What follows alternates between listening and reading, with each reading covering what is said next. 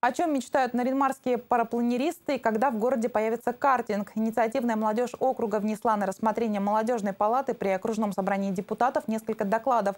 С помощью общественного органа докладчики попытаются разнообразить и улучшить жизнь в регионе.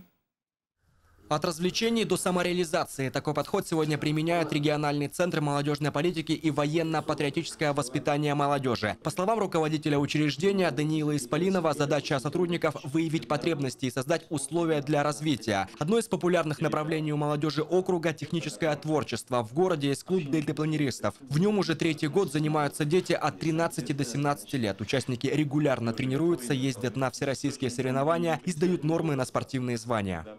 У меня только одна, одна задача стоит и одна просьба, что если мы в городе найдем помещение небольшое, одну комнату для,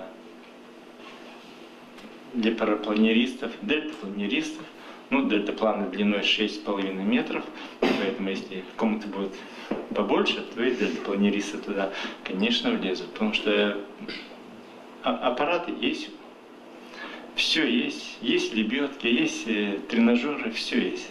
Но все это, знаете, то в гаражах, то на улице.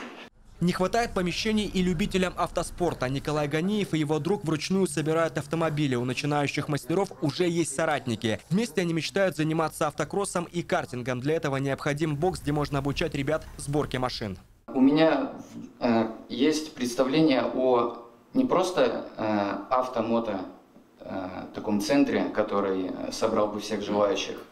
Есть э, представление о центре глобальном технического творчества, который занял бы все, охватил точнее все деятельности, будь это э, сборка мотоцикла, либо дельтаплан.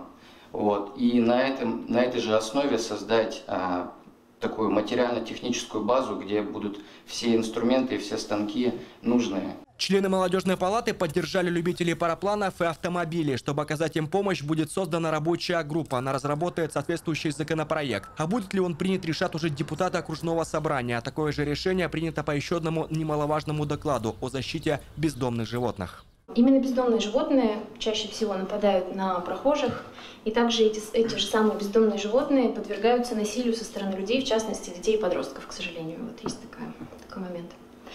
Вот, хочется отметить, что в настоящее время федерального закона о защите животных от жестокого обращения нету в нашем государстве.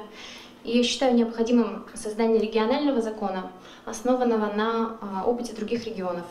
Подобные проекты есть в Тверской области и ближнем зарубежье, но работающих законов нет ни в одном регионе России. Председатель собрания депутатов Анатолий Мяндин отметил, что проблема с бездомными животными в округе есть, и страдают от этого как питомцы, так и люди.